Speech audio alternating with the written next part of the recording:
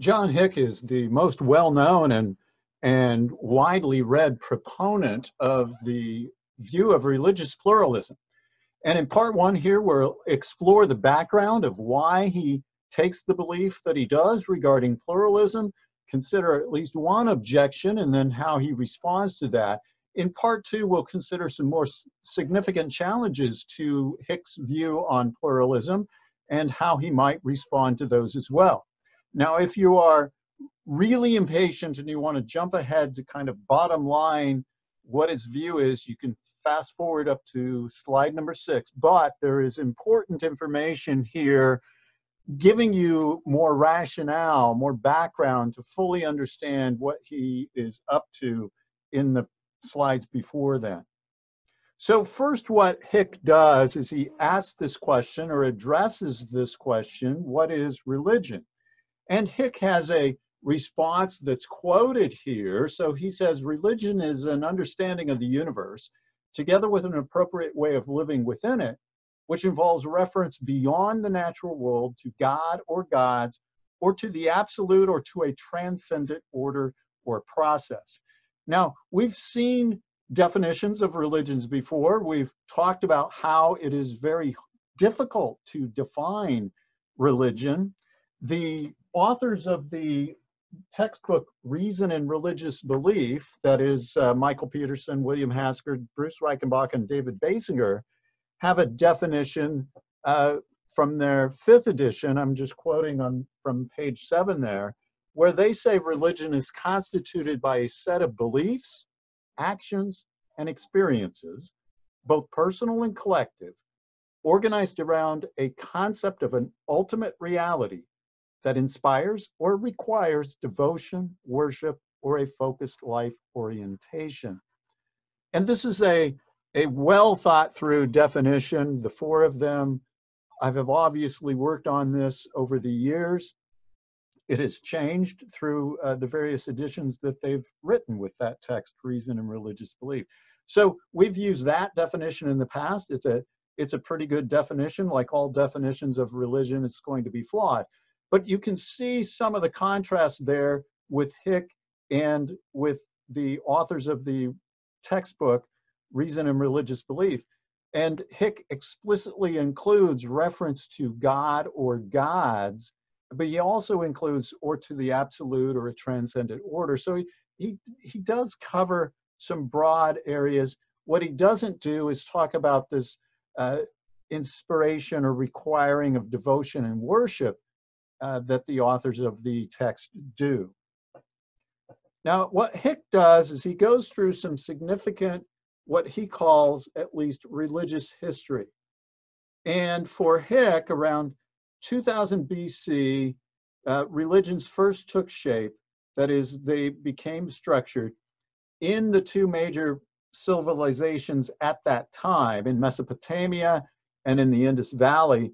And in Mesopotamia, they predominantly had male deities only. And in the Indus Valley, they also included female deities that would hold a prominent place. Now, Hick calls these developments natural religion. He claims that they appeared without the intrusions of divine revelation or illumination. In other words, he says during this period, it's humans creating their own ideas, humans coming up with the ideas of the gods, how to worship them, and so on. It's human originated. Now, that changes, according to Hick, when we get to what he calls the golden age of religious creativity. And this occurs around 800 BC when written religious revelation and revelatory experiences become more prominent.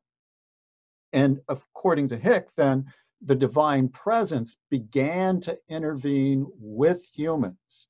The divine presence began to inspire revelation, writings, practices, and so on. So he, he gives several examples of these. The Jewish prophets, for example, uh, the major prophet Isaiah, Amos and Hosea. So you have that history in that tradition.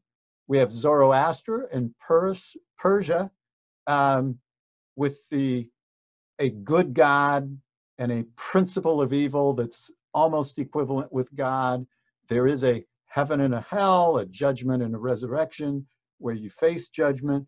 And so we have this life uh, after death concept there, as well as the strong forces of good and evil.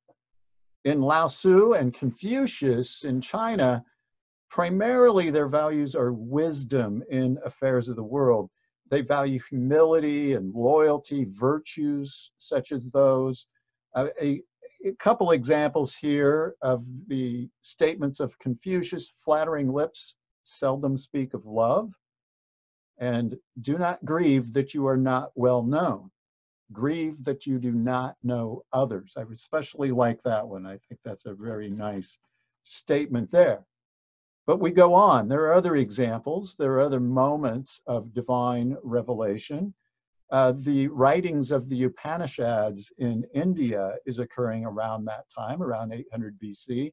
We have Gautama Buddha, uh, lived somewhat close to that time. The Mahavira, the founder of the Jain religions, the ascetic religions, which uh, call on people to conquer their desires and have this primary focus of do no harm.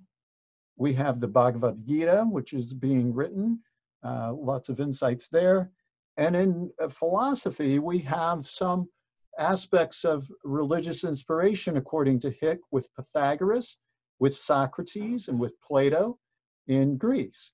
So we have this variety of, of inspiration from this golden age of creativity of divine revelation, according to Hick.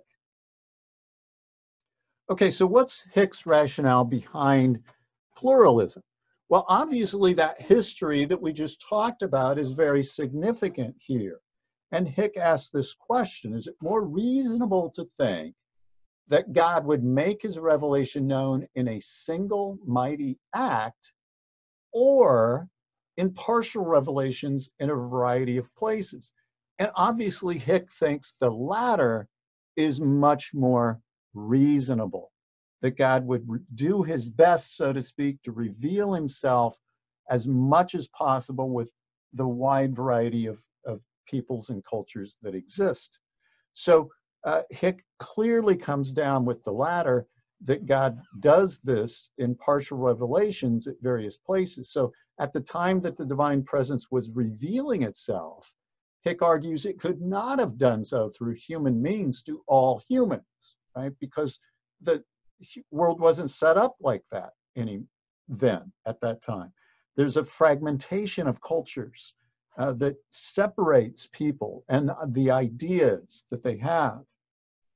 In addition, each of the major religious complexes has expanded, according to Hick, until contacting another major religion and then there's this somewhat of a stable equilibrium. So this spread of the major world religions occurs geographically, and then you have this expansion, and then you have somewhat of a stability.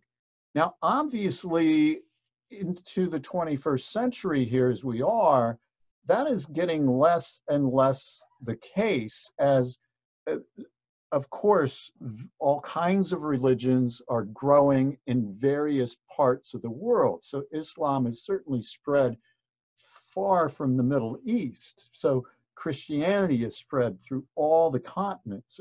For example, Buddhism is spread through all the continents and so on.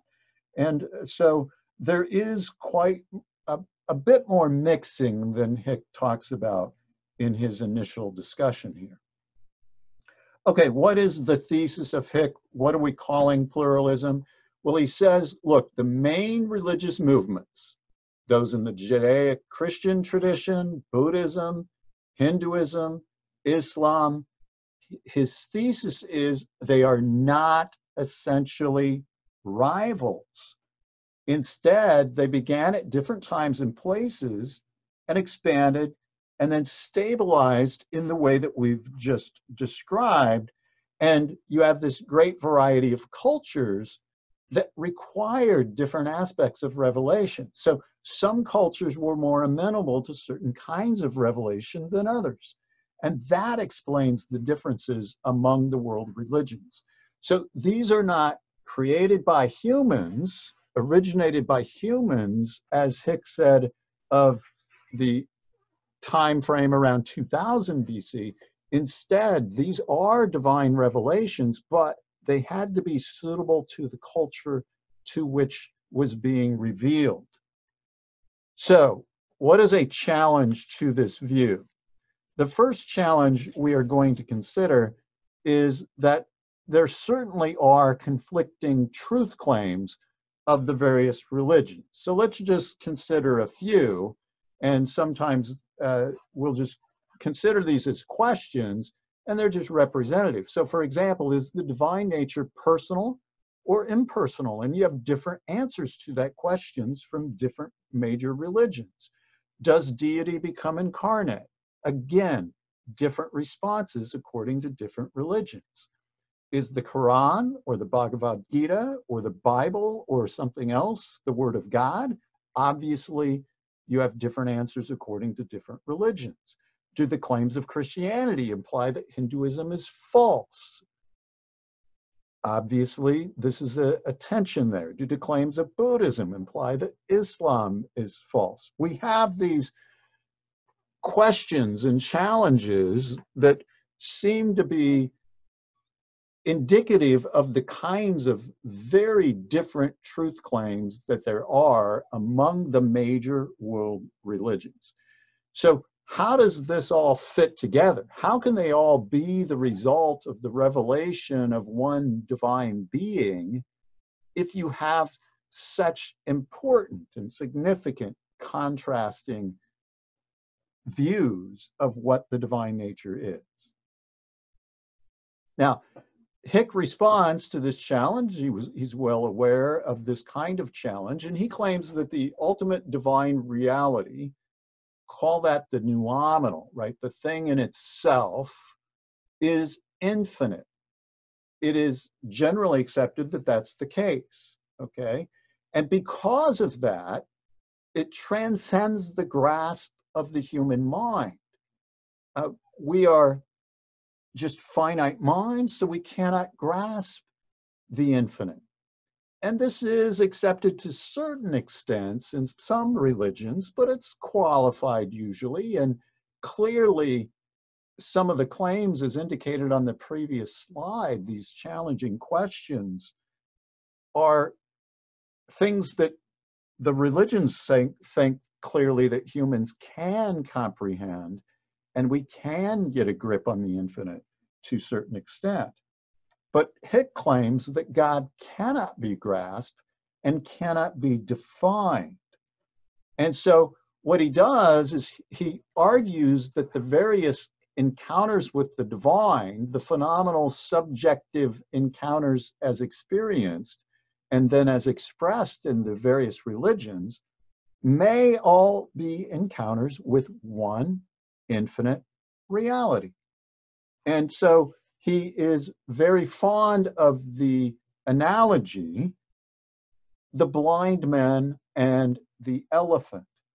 So we've talked through this analogy previously, but just a brief summary, right? You have four or five blind men and they approach an elephant and each of them comes into contact with different aspects of the elephant. So one, a leg and says the elephant is like a tree.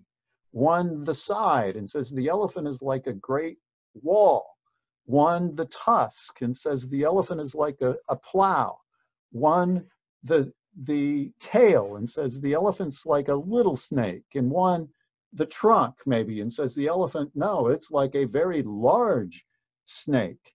And so you have these different views of the elephant, whereas Hicks says, look, that's kind of what's going on with the divine reality.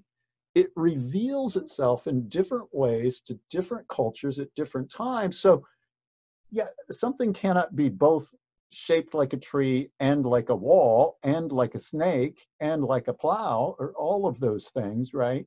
Um, yeah, sure, that's true. But the experiences of those blind men who described it that way were were revealed by the nature of the elephant. And so uh, the encounters have grossly distorted the accounts of the divine because of their partiality. So the moral of the story then is not that any and every conception of God or the transcendent is valid, but rather that every conception of God or the transcendent that has come out of a great revelatory religious experience and has been tested with a long tradition of worship, those represent a genuine encounter with reality. So, this analogy, the blind man and the elephant, is very crucial for Hick. He takes that very seriously as an analogy of the divine nature revealing itself to us. We are like the blind men, the various religious traditions are like the blind men, so they have distorted views of that divine nature. So the encounters of the major religions, let's just make this very explicit, are encounters of the same divine reality, but they come from different historical and cultural standpoints. And it's because of that that they vary greatly, not because of the divine nature. So that's Hick's view of pluralism and how he responds to that concern of conflicting truth claims. In part two, we're going to consider some other challenges to his view and how he might respond to those.